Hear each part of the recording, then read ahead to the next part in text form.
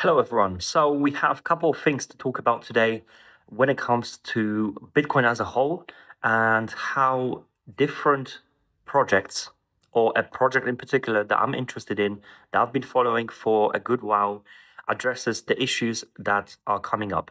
So, let's talk about quantum computing. Vitalik warned about quantum risks, and Algorand, which is a project that you are all familiar with, a project which I've personally covered on the channel multiple times, is quantum ready.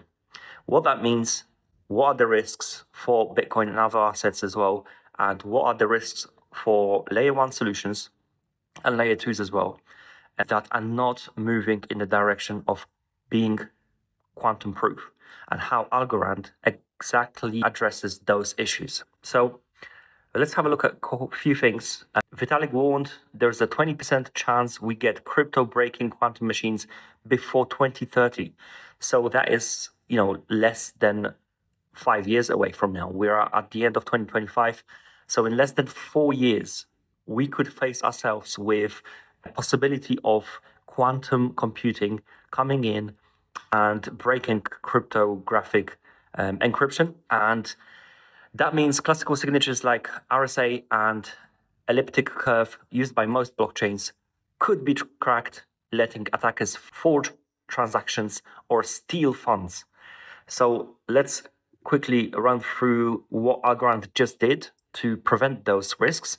And um, these are basically a couple of reasons why I'm following the project very closely. As you know, by following me on X, I've been covering many things about Algorand, and uh, you know that well. I've been talking about these guys for a good while, um, and this is one of the reasons why I'm particularly bullish. So, Algorand executed the first ever post quantum transactions on a live public blockchain using NIST approved Falcon signatures. So, while others are still planning security, Algorand already has three things which are very important. So, the first, working code on mainnet. It allows uh, Algorand to just jump into the quantum proof solutions very quickly, very effectively. Falcon based quantum resistant signatures is already in Algorand. Uh, developer tools to start experimenting right now. So, all the people who are involved in building on Algorand are able to test those tools, be quantum ready before it happens. It is crucial is crucial for projects to uh, make moves right now, just like Algorand is doing, because once the security threat is here, it's already too late.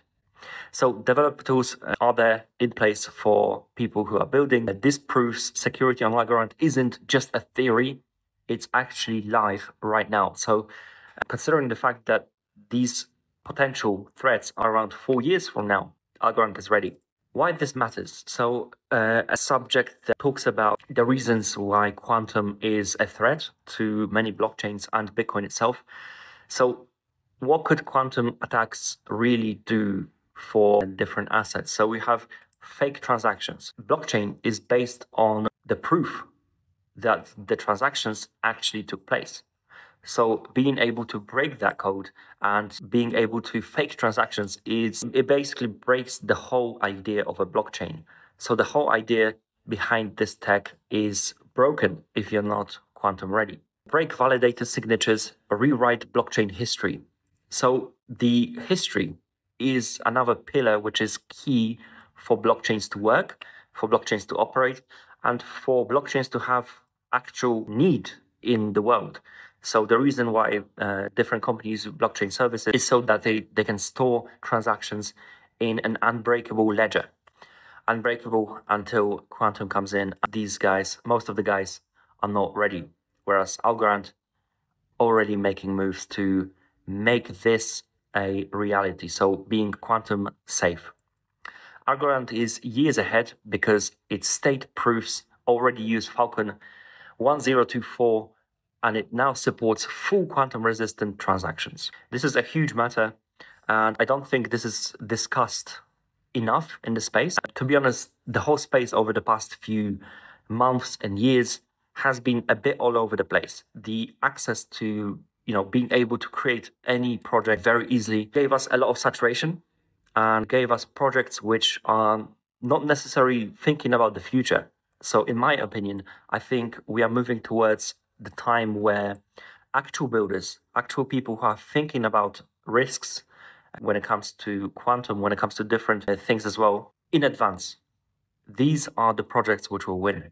These are the real utility builders, and uh, Algorand has proven itself to be one of those projects over the past years. And uh, they've continuously built, built solutions, built things like quantum resistance, and also other things which I'm always talking about on my X account and YouTube as well. So if you want to stay in the loop and uh, continue looking at what Algorand is building, but also my personal thoughts on crypto space, Web3 space, and anything crypto related, I do recommend you guys give me a follow. Subscribe if you are watching this video on YouTube. It's going to go both on YouTube and X. So I do welcome you guys to support the channel and learn about the things that are actually important in the space. Because hype and you know trading leverage trading all these things they come and go. They have their own place. Yes they do in the ecosystem. Speculation is a huge part of this ecosystem.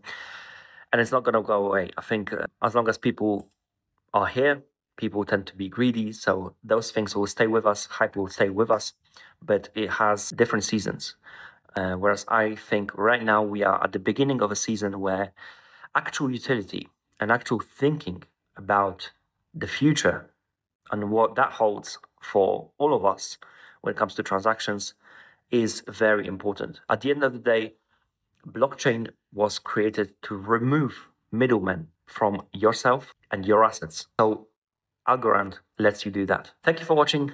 This was a quick update on Algorand why Algorand matters in 2025, 2026, and beyond. Thank you for watching, and I'll see you in the next one.